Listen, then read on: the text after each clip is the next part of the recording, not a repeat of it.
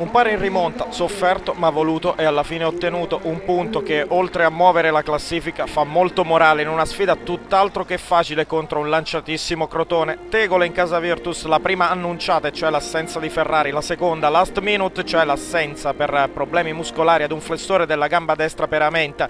Marilungo gioca centrale d'attacco con piccolo a destra e Di Francesco a sinistra. Come mezzala c'è ancora Vastola, mentre in porta va Casadei, solito Crotone che sale in Abruzzo per fare risultato. Prima della contesa, inno nazionale francese, minuto di raccoglimento e tanti applausi da parte dei 2500 del Biondi, gli stessi 2500 che sempre con tanti applausi ricordano Lorenzo Costantini, l'ex capitano della primavera rossonera. La sfida, il primo affondo del Crotone al quinto, girata di Budimir in area, smorzata e parata a terra di Casadei senza problemi. Al settimo acuto Frentano, corner di Mammarella e palla che arriva a piccolo che prova a sorprendere Cordaz dalla distanza ma non c'entra lo specchio della porta. Si rivede il Crotone al minuto 18 che ottiene un corner contestato dai rossoneri, ma il corner sarà determinante. Lo calcia Stojan, palla al centro dell'area dove c'è Ricci che spinge in rete, sorprende e va ad esultare. Sotto la curva nord.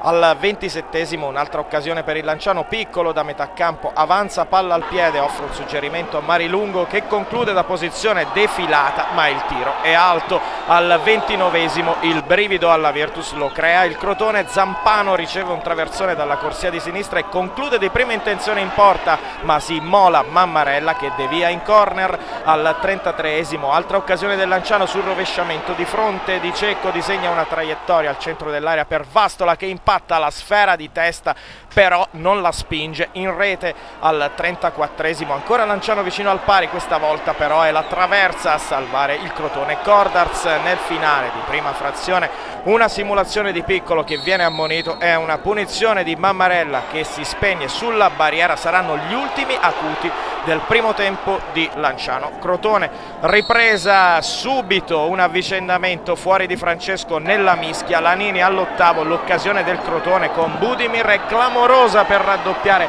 ma in qualche modo il Lanciano si salva nella mischia. Anche Padovan per Marilungo ed è questo il secondo avvicendamento al diciottesimo. È una sassata di Stojan messa in corner di Casadei a mettere i brividi ai frentani. Al 33esimo una palla persa da Padovan innesca una ripresa del Crotone ma con poca convinzione si presentano sotto la porta difesa da Casadei. Nel finale D'Aversa richiama Vastola e completa il tris dei cambi mandando in campo Luca Di Matteo al quarantesimo Bacinovic offre un pallone d'oro a Lanini che si presenta di fronte a Cordaz che però lo devia in corner dagli sviluppi del tiro della bandierina.